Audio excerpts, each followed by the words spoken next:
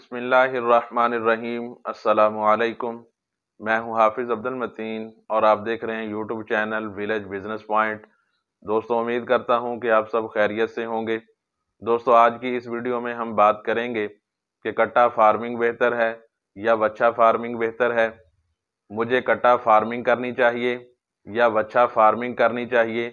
دونوں میں سے کون سی بیسٹ رہے گی فارمنگ؟ دونوں میں پرافٹ کس میں زیادہ ہے؟ دونوں کے اندر خرچہ، محنت کا ریشو کیا ہے؟ تو دوستو، آج کی اس ویڈیو میں اسی سلسلے میں کچھ باتیں آپ کے ساتھ شیئر کروں گا۔ لیکن اس سے پہلے آپ دوستوں سے گزارش ہے، جنہوں نے ابھی تک چینل کو سبسکرائب نہیں کیا، چینل کو سبسکرائب کر لیں۔ ساتھ لگی بیل آئیکن کو پریس کر دیں تاکہ آنے والی ہر ویڈیو کا نوٹیفیکیشن آپ کو ملتا رہے۔ تو چلیے دوستو، آج کی ویڈیو شروع کرتے ہیں۔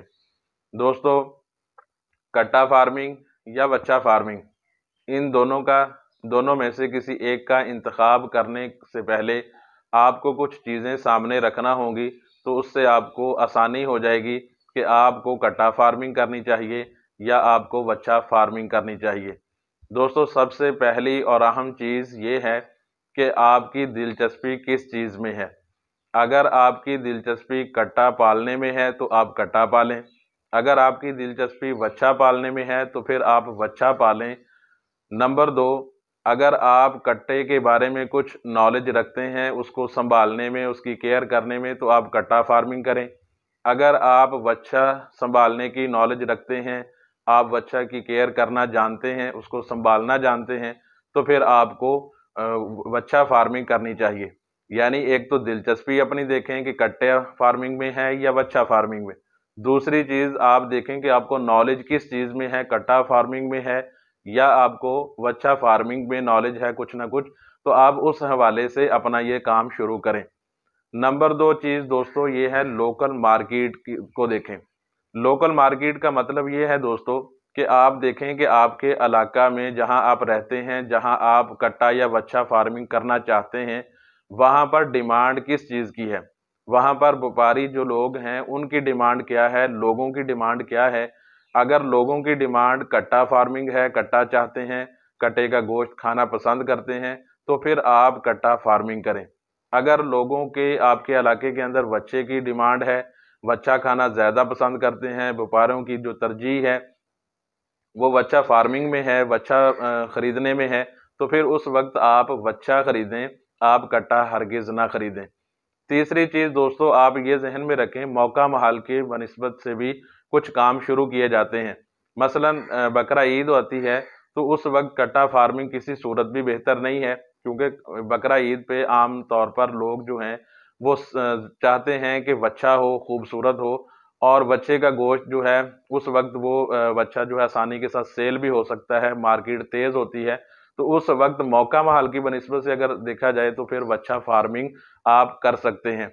اس کے بعد ایک اور چیز ذہن میں رکھیں کہ آپ یہ دیکھیں کہ کٹا فارمنگ یا بچہ فارمنگ میں محنت اور خرچہ کس میں کم ہے اور پرافٹ زیادہ کس میں ہے۔ اس لحاظ سے بھی آپ اس کو ترجیح دے سکتے ہیں، آپ اس لحاظ سے بھی فیصلہ کر سکتے ہیں کہ دونوں میں محنت، خرچہ کس میں کتنا ہے اور پرافٹ کتنا ہے۔ تو یہ چیز بھی آپ کے لیے آسانی کر دے گی تاکہ آپ آسانی کے ساتھ اس کو اپنا بزنس شروع کر سکیں، کٹا فارمنگ کر لیں یا اچھا بچہ فارمنگ کر لیں۔ اب دوستو، اگر بات کروں میں اپنے لحاظ سے یا میں اپنی رائے آپ کے ساتھ شیئر کرنا چاہوں، تو میں آپ سے یہ کہوں گا کہ آپ جو کرنا چاہتے ہیں، جس کام کو آپ میں دلچسپی ہے، آپ اس کام کو اور آپ کی مارکیٹ کو دیکھنے کے بعد جو چیز آپ کرنا چاہتے ہیں، آپ اس کو سٹارٹ کریں۔ اکثر لوگ سوچتے رہتے ہیں، اکثر دوست سوچتے رہتے ہیں کہ مجھے یہ کرنا چاہیے، اس بارے میں لوگوں سے پوچھتے ہیں۔ پھر وہ کہتے ہیں، کچھ کہتے ہیں، اس کے فوائد بتاتے ہیں، کچھ نقصان بتاتے ہیں، تو آپ پریشان ہو جاتے ہیں۔ تو اس لیے آپ اپنی بیسک جو نالج ہے، جو بنیادی ریسرچ ہے، وہ کسی بھی کام کے حوالے سے، وہ کام ریسرچ مکمل کرنے کے بعد جس نقطے پر آپ کا دل مطمئن ہو جائے، آپ کا ضمیر، آپ مطلب خود مطمئن ہو جائیں اس کام کو پھر آپ سٹارٹ لازمی کر دیں۔ ادروائز آپ کو لوگوں کے مشورے جو ہیں وہ ملتے رہیں گے۔ طرح طرح کے لوگ آپ کو کچھ نہ کچھ کہتے رہیں گے۔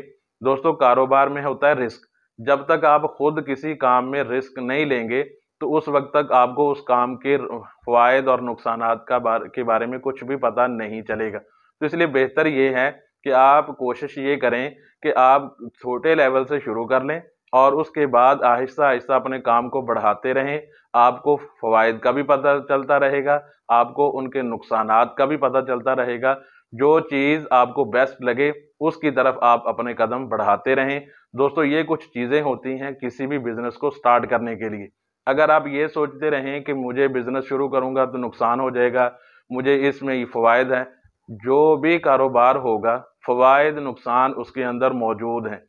اب یہ بندے کی اپنی ابیلیبلٹی ہے کہ اپنی قابلیت ہے، اپنی محنت ہے کہ بندہ اس میں کے اندر فوائد کتنے حاصل کر سکتا ہے اور کتنے نقصان سے وہ بچ سکتا ہے۔ یہ بندے کے اپنے اوپر ڈیپینڈ ہے۔ تو اس لیے دوستو، کوشش کریں، جس کام کو بھی کرنا چاہتے ہیں ریسرچ کریں۔ ریسرچ کرنے کے بعد پھر اس کو اللہ کا نام لے کر سٹارٹ لازمی کر دیں۔ دوستو، امید کرتا ہوں کہ آج کی یہ مختصر ویڈیو آپ کو پسند آئی ہوگی۔ ویڈیو پسند آئی ہے تو اس کو لائک کیجیے کومنٹس کیجیے، دوستوں کے ساتھ اس کو شیئر کیجیے۔ ملتے ہیں انشاءاللہ نیکسٹ کسی اور ویڈیو میں۔ تب تک اللہ حافظ۔